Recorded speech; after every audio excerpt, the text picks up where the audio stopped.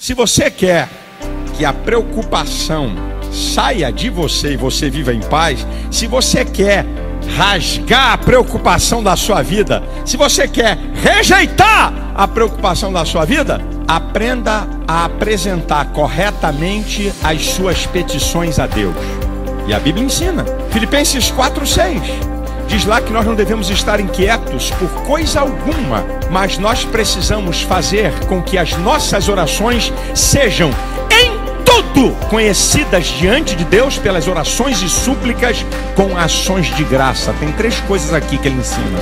Primeiro, fale tudo que está perturbando você com Deus. Fale tudo. Em tudo. Não estejais inquietos por coisa alguma, mas as vossas petições sejam em tudo. Desembucha, meu filho. Deus quer ouvir detalhes do que te perturba, do que te incomoda da tua petição. Primeiro, você tem que falar tudo na oração. Segundo, diz o texto, com súplicas, com clamor. Terceiro, com ações de graça. Eu te dou graças, Senhor, por tudo isso que está acontecendo. Bendito seja o teu nome. Eu te dou graças pela vida. Eu te dou graças por tudo. Você já abriu a tua boca para render graças ao Senhor? Rendei graças a Deus, meu irmão. Abra aí a tua boca, meu filho. Dá graças a Deus por hoje. Dá graças a Deus pela vida. Dá graças a Deus pelo livramento que você não nem vê. Em tudo